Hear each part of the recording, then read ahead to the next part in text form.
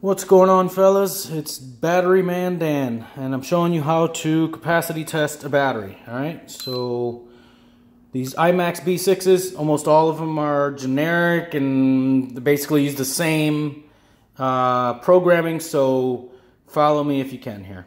Alright, so we got program select. I'm going into, oops, keep going to the program, hit start. Now I'm going to hit start to get in there to change things. Now if I wanted to change it to LiFePO, there it is, LiFePO 4. But I'm using lithium ion, so I'm going to change it to lithium ion. I'm going to hit start. Alright, now the other things that's important are that the time is off right here, safety timer off. And that capacity cutoff is off because you don't want to stop at 5,000 if you got more than that. So we can back out of there hit stop, go into our program, and we can charge it. All right, now confirm. So now this is our capacity uh, reader. So it's going to bring this battery all the way up.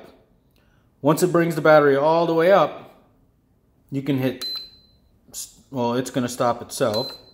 You can go to discharge and then discharge it. So now this will give you your capacity tester, your reading. So basically your 140 amp hour LiFePO 4 cell will read 99, 99, 99, 9, and then it will turn over and go back to zero. So if you monitor it, you can watch the 88,000 milliamp hours, and then once it goes past, you just add that to the previous reading. Um, so basically, if you see 40,000 milliamp and it's done, but you have a 140 milliamp hour or amp hour battery, then that's a true reading. It's just that this only reads up to 99,999. So that's how you capacity test a battery. Um, Got any questions? Just drop them in the comments below, and I'll do my best to answer your questions.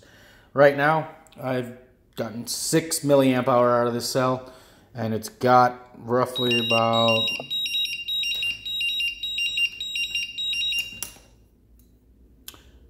three thousand one hundred ninety-one. I've already tested this battery, so that's that. Got any questions? Hit me up. Later, guys.